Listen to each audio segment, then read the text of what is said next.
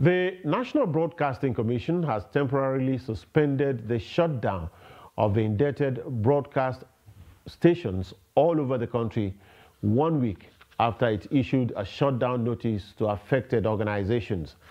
A statement on Friday signed by the Director General of the Commission, Balarabe Shehu Ilela, which announced the NBC's decision, explained that the regulatory agency had received positive responses from the debtor licensees, including big players in the broadcast industry.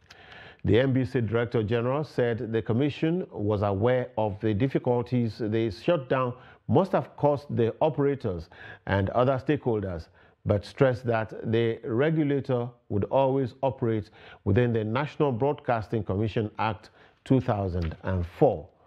The NBC decision had attracted a lot of reactions and even a court order. However, what finally tipped the cat was a follow-up meeting held on Wednesday with executives of the broadcasting organizations of Nigeria, BORN, and other critical stakeholders in the industry.